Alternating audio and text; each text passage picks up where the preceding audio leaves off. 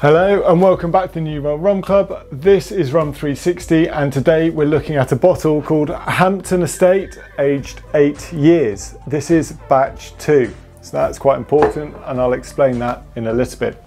But firstly I've been, uh, I've been away, I've been super busy at work um, and life and to be honest I haven't been able to create a lot of videos. But what I have done in that period is I have bought myself a new camera so I'm not using my phone. I bought myself a mic, so hopefully the speech quality is a bit better. Let me know if you notice a difference, but that means that I want to be making a lot more videos on rums like this for you guys. So why have I picked this bottle?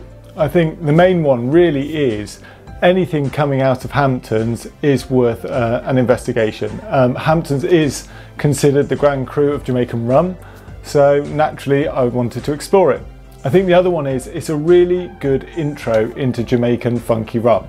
It's not up there in terms of the ester levels, but it's got enough to really give you uh, a sense of what funk is and has a lot of personality. I think finally, you know, with the price point, with the quality, for me, I feel like this should be considered for everyone's rum shelf. You know, so from that perspective, it's an all-rounder. It's probably one of my favourites of the year, and I thought I'd bring it to the channel to give you my thoughts on it. So Hampdens, um, a distillery from 1753 in the Trelawny district in Jamaica. Um, their processes are quite unique. They have dunder pits, they have muck pits, they have open fermentation. Their whole process, if you look at it, makes you consider should you be drinking this stuff. But forget all of that or have a look at it through the Cocktail Wonks or the Lone Caners uh, uh, blogs because what you really want is the taste of the rum that comes out of it and it's very, very good. Um, and in the range, so you know they've been open for that long, but really they've only been releasing their own bottles since 2018. And since then, a lot of it has been from Velier. So to give you an idea, you've got you know the Habitation Velier series, which is looking at aged and unaged rums, um, all pot still, unadulterated, um, and you know premiers. So in this case, it's looking at the Larocque mark and something that. Uh, that they've been doing through all the different marks that Hampden have to offer. You've got things like this um, Larocque 2010. Now, when it first came out at around the 130, 140 euros, pounds mark, it looked too expensive. Forget all of that. Try it. Again, one of the best runs I've tried this year. Um, there is a single cast series, um, or actually this one's not quite single cast, This is the single cast from Habitation Velier. Um, you've got the Trelawny Endemic Bird series, again very limited, some of them down to 82 bottles because I think they spilt one of the barrels, but super exclusive, really difficult to get your hands on, but great expressions of Hampden. You've got the Hampden Great House, which they started in 2019. It's a blend of a couple of the marks. Um, released in 2020 again, this is 2020 and there's 2021 expected anytime soon. Um, but really we're talking about this one, which is um, one of the cheaper, younger bottles on the range. But to give you an idea, 130, uh, about 100, 200, 100, a couple of hundred. So 50 pounds, 55 pounds for one of these rums. You know, with that sort of pedigree coming out, it really is producing some premier rums. And that's why the Hampden 8 year old is something that you should consider. So let's have a look at the bottle in question. There is loads of details on the bottle, so do find your way through underneath a couple of crocodiles and it will tell you everything from um, the, the high art of esters, how it's matured fully in the tropics, um, the endemic rum um, from Trelawny, uh, the fact that they only do pot still.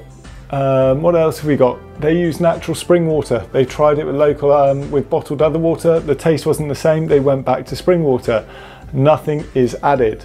So really, the bottle tells you everything you need to know. Um, what it doesn't tell you is what marks of rum are in there. So batch one looks exactly the same as batch two. Very subtle differences. Batch one was actually seven years old instead of eight years old. Um, and it comprised of a number of the marks, including DOC, which is the highest ester range. So, you know, if you find it, the only way you're going to tell the difference doesn't say eight year old on there. Pretty much everything else looks very, very similar. Um, Whereas when you've got the eight year old from batch two, um, it's a single mark OWH. And if you have a look in the ester range, um, it is the lightest mark, which means it's not the funkiest, but it's still funky. Um, the only other details to talk about are really it's 46% ABV um, uh, and it's ex bourbon. So I think that gives you all the details you need to know. So on the nose, really, you, you smell that it's a Jamaican rum. There's no questions there. You get those esters, you get those overripe uh, bananas, you get some pineapple, some some red fruit. I'm getting a bit of chocolate.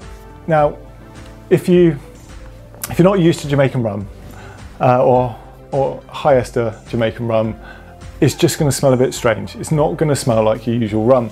Um, this was my first experience um, when I first started uh, smelling Jamaican rums, and I thought, do I like it? Do I not? But it is something. There was something there that kept on bringing me back and bringing me back. Now, you know, I'm kind of addicted to the stuff. I really like it as a go-to rum, um, and that smell is quite unique, and it really is a lovely one on this bottle.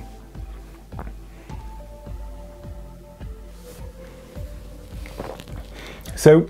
Mm when we get to the taste, you know, you still get those bananas, you get some apples, you know, there's vanilla, cumin, spice, lots and lots of things coming in. Again, it tastes like a Jamaican rum. There's there's no getting away from that, and that is something that isn't going to suit everyone's palate.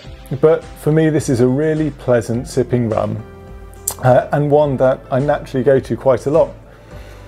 Um, the the mouthfeel on it you know, it's not a huge mouthfeel. It, it is about, you know, it's a medium mouthfeel there. You get some slightly different aftertaste, some varnish, some pepper, some butterscotch, maybe a bit of coffee, but all in all, you know, it is something that, that stays in the mouth and makes you wanting to go back for more. So when I did rate this um, on Rum-X, uh, I gave it a solid 82, 82 out of 100. Um, I don't give points for presentation. Um, uh, it really was about the liquid. And, you know, I would say take the 82 aside and go to how, you know, what I consider this rum to be, which for me is one of the best priced Jamaican rums on the market at 50 to 55 pounds. I've got all of these sat in my cupboard, a lot of them open, I've got a lot of other bottles and one of my key go-tos is this rum. Now, if you do find this a little bit funky, and some will, especially if you're coming from the whiskey world, you know, Rafi from Whiskey said, oh, this is a super funky rum. And I can understand why he says that. For me, yes, there's some funk, it's not super funky, but you may find it's a bit much. So the next one down for me would be from Worthy Park. Again, it's a pot still rum. Um, it doesn't, it has a very different process to Hampden, um, and this is a single estate reserve.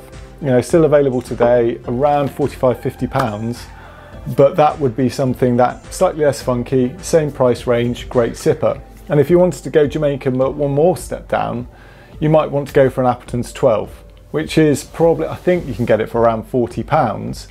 Um, but I don't have one here today because I quite like the flavours of these. So it's worth considering when you're looking at the Jamaican rums, which one to go for.